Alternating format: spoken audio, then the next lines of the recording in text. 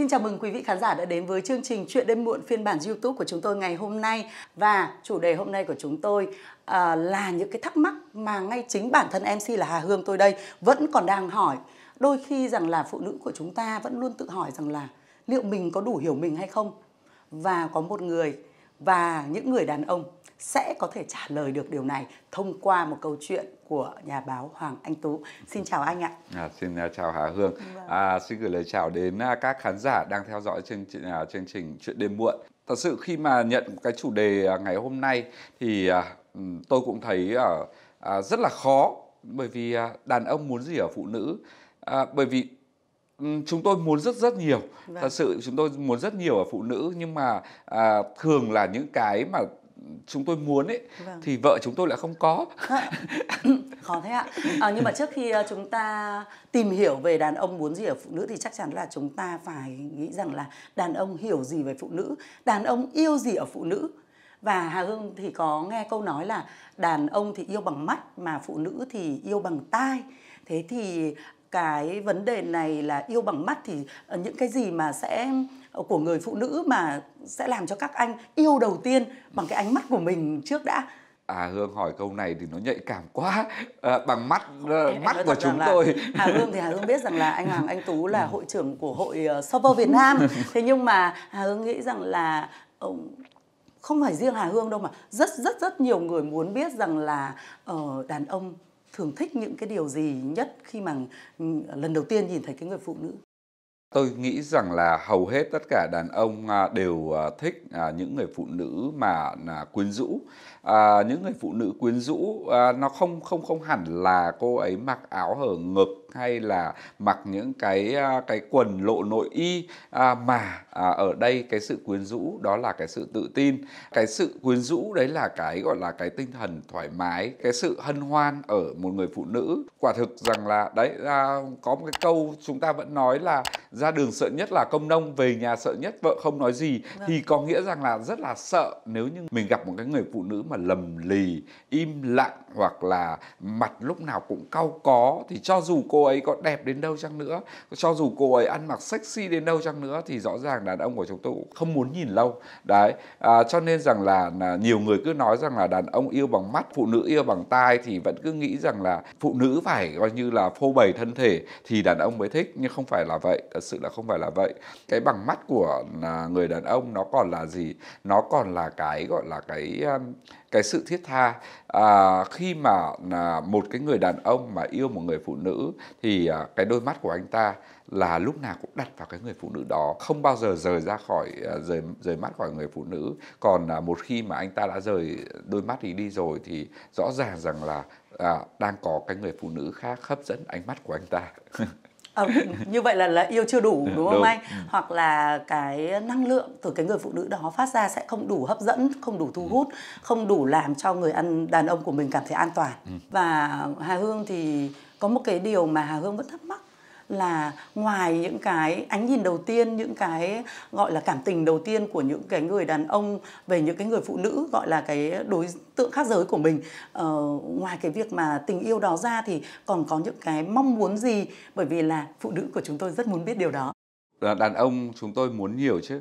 À, đàn ông chúng tôi à, muốn rằng là một cái người phụ nữ của mình và những cái người phụ nữ ở bên ngoài là những người có thể rằng là lắng nghe mình có thể là trò chuyện được với mình rất nhiều những người phụ nữ nói rằng là đàn ông họ không à, họ họ không chịu chia sẻ dạ. à, như kiểu là chồng em về là không bao giờ chia sẻ với em à, câu chuyện của anh ấy Được. Dạ. em cũng rất là muốn nghe đấy chứ em rất là muốn chia sẻ cùng anh ấy nhưng Được. anh không chia sẻ nhưng không phải là đàn ông của chúng tôi không muốn chia sẻ đâu là bởi vì à, có rất nhiều khi mà chúng tôi chia sẻ ra thì à, luôn luôn nhận được những cái câu trả lời mà thì chúng tôi không mong muốn à, vâng. đấy hoặc là gì hoặc là trái chiều như kiểu là uh, em đã bảo anh rồi mà anh vẫn anh vẫn cứ làm thì đúng là là là anh thất bại là đúng rồi. Hay là cái kiểu coi như là uh, uh, chê bai uh, hoặc là gì nhỉ phân tích. Uh, thực sự ra nhiều khi rằng là cái cái cái cái mà chúng tôi cần đó đàn ông cần cái sự ghi nhận nhiều hơn. À. trong khi phụ nữ thì lại không bao giờ chịu ghi nhận đàn ông cũng thích nghe lời khen đấy chứ nhưng mà phụ nữ rất lười để khen chồng mình. À, đàn ông cũng thích à, à, được dụng mặn đấy chứ nhưng mà đấy phụ nữ thì lại làm cho đàn ông à, cảm thấy sợ. Chẳng hạn như cằn nhằn chẳng, chẳng hạn như kêu ca chẳng hạn như thế này thế kia. À, thì rõ ràng là những người đàn ông họ sẽ cảm thấy rằng là à, bất ổn và họ dần dần họ sẽ không muốn chia sẻ với với vợ mình nữa. Chứ còn à, đàn ông của chúng tôi cũng rất là mong muốn rằng là chị em à, cũng có thể lắng nghe và có thể à, ghi nhận chúng tôi nhiều hơn có thể khích lệ chúng tôi động viên chúng tôi. Đặc biệt rằng là cái sự khích lệ à, cái sự khích lệ à, dường như rằng là à, sau kết hôn à, rất ít người vợ à, còn nhớ cái việc khen khen chồng mình đấy ờ, và hà hương cũng thấy rằng là có những cái trường hợp nó xảy ra rất là nhiều có nghĩa rằng là đàn bà thì đôi khi là rất hay để ý đến những cái điều nhỏ nhặt hoặc là tiểu tiết ừ. nhưng mà thường như là đàn ông chẳng bao giờ để ý đến những cái điều đấy ừ. thì tại sao lại có những cái sự khác biệt như vậy anh nhỉ? Thực sự ra cái gọi là cái việc mà là phụ nữ à, quan tâm đến tiểu tiết vâng. và đàn ông thì à, thì thì không như vậy là nó nó xảy ra với rất rất nhiều gia đình phụ nữ thì lại rất là cảm xúc đôi khi phụ nữ đặt ra rất rất nhiều câu hỏi không phải là để mà nghe rằng là chồng mình gọi là giải thích đâu vâng. mà chỉ đôi khi là cần một cái gọi là một cái ôm của chồng cần một cái gọi là một người trò chuyện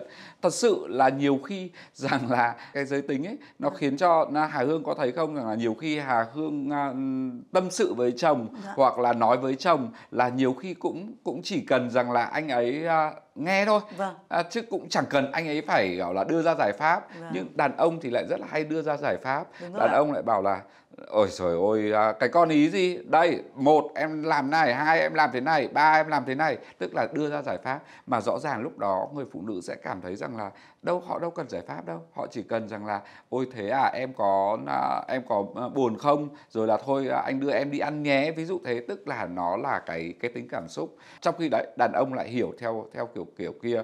Cho nên dẫn đến cái chuyện rằng là à, nhiều khi rằng là, là hai vợ chồng à, không tìm thấy tiếng nói chung với nhau là như thế. Rồi là, là cái sự vô tâm của người đàn ông. Vâng. à, đôi khi người đàn ông chỉ nghĩ rằng là mình mang à, mình cố gắng mình kiếm thật nhiều tiền để mình mang về mình cho vợ mình đỡ khổ. Nhưng mà phụ nữ thì lại thấy rằng là nhiều tiền cũng thích đấy nhưng mà em muốn anh có nhiều thời gian bên cạnh em hơn. Đấy cho nên rằng là chúng ta lúc nào cũng là đàn đàn đàn ông sao hỏa đàn bà sao kim là như thế. Nên là chúng ta là chúng ta bị lệch nhau. Cho nên cái quan trọng nhất đó là có thể chia sẻ được cùng nhau có thể để tâm đến nhau.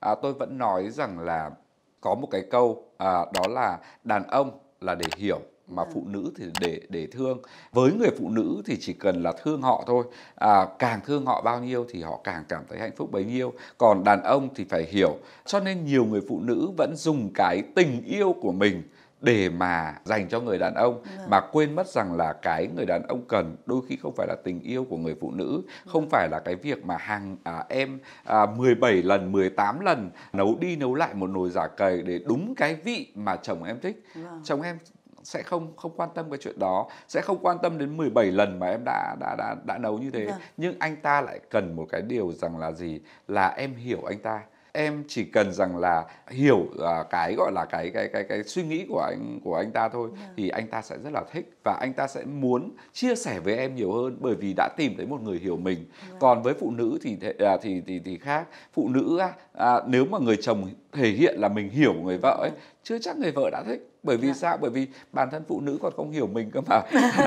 Họ cũng không họ cũng không biết là họ họ đang nghĩ gì cơ mà. Yeah. nhưng người phụ nữ lại rất cần một cái gọi là cái thương cái yeah. yêu. À, cái cái việc người đàn ông thương vợ mình như thế nào người đàn ông à, yêu vợ mình ra sao thì người vợ sẽ rất là thích. Ví dụ như là đấy anh ý coi như là cũng nấu đến 17 lần để mà à, à, ra được cái món giả cầy mà người vợ thích. Thì đương nhiên vợ người vợ sẽ thích. Trong khi người chồng thì không nhá. Yeah. người chồng sẽ chỉ quan tâm cái chuyện là à, món ý có ngon hay không chấm vâng. hết chứ không quan tâm cái chuyện rằng là cô cô ấy đã vất vả như thế nào đã đã đã ra sao. Cho nên là đấy à, tôi vẫn nghĩ rằng là đàn ông thì phải hiểu và phụ nữ thì phải thương là là vậy. Dạ vâng ạ.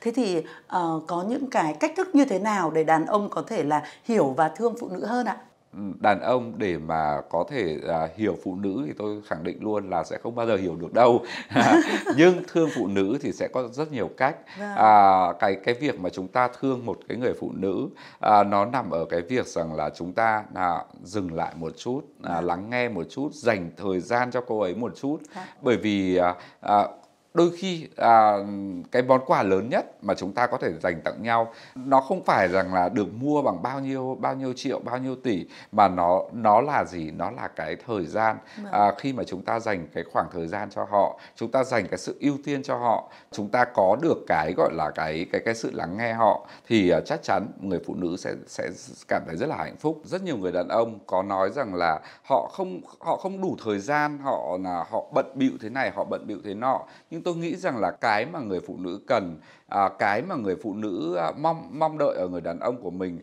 đôi khi không phải là cả một ngày anh dành cho em đâu mà chỉ chỉ đơn giản là buổi sáng khi anh tỉnh dậy anh nhớ đến em khi mà uh, anh trong cái công việc của anh anh có thể rằng là uh, nhắn cho em một cái tin hoặc là đôi khi chỉ cần rằng là kể cả là cả một ngày dài mệt mỏi thì uh, khi mà về về đến nhà thì dành cho nhau một cái khoảng thời gian chất lượng.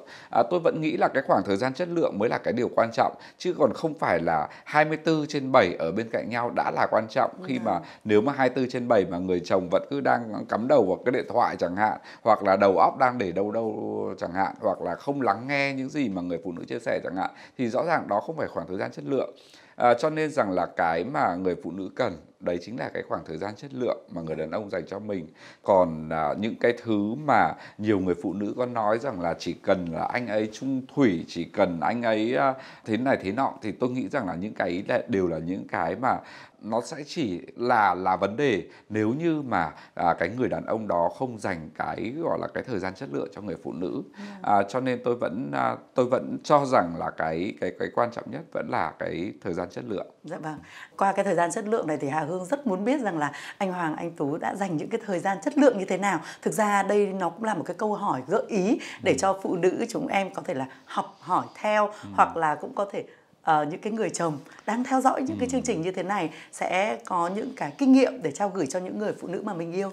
Với tôi à, thì à, cái cái thời gian chất lượng mà dành cho à, gia đình à, nói chung và dành cho vợ mình nói riêng thì à, nó chỉ à, rất là đơn giản như là chúng tôi có những cái khoảng thời gian mà không điện thoại à, chúng tôi rời ra khỏi cái gọi là cái điện thoại chúng tôi dành cái khoảng thời gian à, bên cạnh nhau đi dạo À, thực sự ra vợ chồng đi dạo nó cũng là một cái sự rất là lãng mạn dạ. khi mà hai người đi dạo với nhau có thể chia sẻ được với dạ. nhau về cái gọi là cái tương lai à, chia sẻ được với nhau về cái gọi là cái tầm nhìn tất cả những cái vấn đề trong cuộc sống dạ. cái điều mà vợ tôi à, à, luôn luôn nói rằng là cô ấy hạnh phúc à, dạ. khi mà à, sống với tôi ở một cái việc rằng là à, có bất kể cái công công việc gì có bất kể một cái câu chuyện à, gì trong cuộc sống cô đều có thể nói nói được với tôi bởi à. vì à, tôi là người biết lắng nghe cũng có thể bởi vì đấy đấy là cái công việc của tôi một cái vâng. công việc mà Hà Hương cũng biết đó là làm anh tránh văn là thường xuyên phải lắng nghe tất cả mọi người thì tôi cũng tôi có được cái điều đó à, và tôi nghĩ rằng là cái cái cái món quà à, mà tặng cho cái người phụ nữ của mình đấy là sự lắng nghe bên cạnh cái sự lắng nghe nó còn là sự phản hồi à, cái sự phản hồi à, bằng cái việc rằng là nếu như cô ấy làm cái điều gì đó cho mình thì vâng. hãy phản hồi lại với cô ấy cho cô ấy biết được là mình à, thích thú với cái điều đó như thế nào? Vâng. mình hạnh phúc với điều đó ra sao? Rồi là à, cái sự phản hồi đấy chính là cái sự ghi nhận. Cái sự phản hồi chính là thể hiện cái cái lòng biết ơn à, của mình dành cho cái cái người phụ nữ ở bên cạnh mình. À, tôi nghĩ rằng là không chỉ là đàn ông làm cái điều đó cho phụ nữ vâng. mà kể cả phụ nữ cũng nên làm điều đó cho đàn ông. Vâng. chúng ta biết ơn vì chúng ta đã được gặp nhau. Vâng. chúng ta biết ơn vì chúng ta à, đã đồng hành với nhau. Và chúng ta biết ơn vì kể cả những cái gọi là những cái năm tháng phía trước à, tôi vẫn nói rằng là cái tài sản lớn nhất của cuộc hôn nhân không phải là bao nhiêu năm chúng ta đã sống ở bên cạnh nhau vâng. mà nó là bao nhiêu năm nữa chúng ta sẽ tiếp tục đi cùng nhau vâng. tôi nghĩ cái điều đó mới là cái điều quan trọng chứ còn à, chúng ta có 24 năm như à, à, ông chủ Amazon đi chăng nữa thì vâng. cũng à, ly dị hay là chúng ta có mấy chục năm như à, vợ chồng Bill Gates thì chúng ta cũng ly dị vâng. à, cái quan trọng nhất đó là chúng ta còn muốn ở bên cạnh nhau bao nhiêu năm sau nữa vâng. à, thì à, đấy chính là cái thứ mà tôi nghĩ rằng là là cái món quà lớn nhất mà chúng ta dành tặng nhau vâng. à, nếu như mà chồng của Hà Hương có nói với Hà Hương về cái chuyện là anh muốn à, sống với em à, đến khi em 80 tuổi à, rõ ràng em sẽ cảm thấy happy hơn rất rất nhiều vâng. đấy rồi là em có thể chia sẻ với chồng mình về cái chuyện rằng là cái kế hoạch tuổi già của chúng ta như thế nào vâng. rõ ràng chồng em cũng sẽ cảm thấy rất là rất là thích thú vâng. Anh nghĩ rằng là đấy chính là cái món những cái món quà tuyệt vời mà chúng ta dành cho bạn đời của mình. Dạ vâng, rất là tuyệt vời và Hà Hương cũng muốn rằng là anh hãy chia sẻ thêm nữa những cái bí kíp để làm sao đó uh, chúng ta có thể cân bằng được những cái mong muốn và hiện thực. Quả thực rằng là cái uh, hai cái chữ cân bằng nó là hai cái gọi là hai cái chữ mà tôi nghĩ rất là quan trọng trong cái gọi là trong cái cuộc sống à, hôn nhân. Vâng. à, rất rất nhiều người à, quên mất hai chữ cân bằng đó mà mọi người chỉ hay nghĩ đến cái chữ công bằng. Cái sự công bằng là cái thứ mà à, rất là buồn cười. À, công bằng à, với nhiều người là 5 năm. Công bằng có nghĩa rằng là đấy là tôi 50 anh 50 à, tức là chồng à, đi à, đi làm kiếm được 20 triệu thì ừ. chồng phải à, góp vào đây 50% của 20 triệu là 10 triệu vợ đi làm 100 triệu vợ cũng phải góp vào 5 50% của vợ là 50 triệu ừ. rõ ràng rằng là đấy là một cái công bằng lệch đúng không chúng ta sẽ thấy rằng là trong cuộc sống không bao giờ có cái cái sự 50 50 như thế. Vâng. Không bao giờ có một cái gọi là cái công bằng bằng cách rằng là tôi thắng và anh thua. Ừ. À, không không có cái công bằng đó mà nó chỉ có cái sự cân bằng đặc biệt là trong cái hôn nhân cái cân bằng là cái quan trọng nhất vâng. đó là gì đó là à, cái sự bù đắp lại với nhau à, để mà đổ đầy cái hạnh phúc vào vào vào với nhau trong cái gọi là trong cái cái cái cuộc hôn nhân đấy à, đó là à, không phải là đấy à, ví dụ như em kiếm 10 triệu về anh kiếm 100 triệu về thì cái mà chúng ta đổ vào đấy không phải là bao nhiêu tiền mà vâng. cái mà chúng ta đổ vào đấy là cái cuộc sống à, là toàn bộ cái số tiền đó và tất cả những cái gọi là những cái mà mà mà chúng ta coi như là là là mong muốn à, để cho cái cuộc hôn nhân đó là ừ, ngày một tốt đẹp hơn. Và lúc đó là cái lúc mà chúng ta phải cân bằng kể cả những mong muốn của mình với cả những cái gọi là những cái à, có thể thực hiện được của đối phương. Nhiều khi à, có rất nhiều những người phụ nữ à, muốn người đàn ông của mình phải à, à, làm thơ giỏi như thi sĩ muốn chồng mình phải coi như là vẽ đẹp như họa sĩ quan tâm như bác sĩ bảo vệ mình như hiệp sĩ. À, và cuối cùng thì à, người chồng đó trở thành một liệt sĩ. Cho nên rằng là xét cho cùng ở đây câu chuyện ở đây đó là gì? Cái điều chỉnh cái mong muốn của mình. Hãy muốn những cái điều mà mà đối phương có chứ đừng muốn cái điều mà đối phương không có. Ừ. hãy ghi nhớ những cái điều mà đối phương đã làm và đừng có lúc nào cũng giữ khư khư trong lòng những cái điều mà đối phương chưa làm một cái vấn đề trong hôn nhân vâng. đấy là đôi khi chúng ta sẽ chỉ nhìn thấy những cái điều đối phương chưa làm mà chúng ta quên mất và chúng ta không để ý đến những điều mà đối phương đã làm vâng. à, chúng ta chỉ à, kèn cựa với nhau trách mắng nhau vì những cái những cái lỗi sai mà chúng ta không nhìn thấy rằng là những cái điều đúng đắn là đúng đắn khác vâng. cho nên tôi nghĩ rằng là cái sự cân bằng nó chính là như vậy nó chính là điều chỉnh cái mong muốn của mình điều chỉnh cái nhu cầu của mình dạ vâng. để làm thế nào để cho cái gọi là cái cái cái cuộc hôn nhân đó nó nó hòa quyện hơn vâng. à, bởi vì khi mà chúng ta đã cùng nhau thì chắc chắn rằng là cái nó như cái quả cầu tuyết ấy dạ. nó cứ càng lăn nó càng lớn lên vâng. và à, chắc chắn à, một cái cuộc hôn nhân mà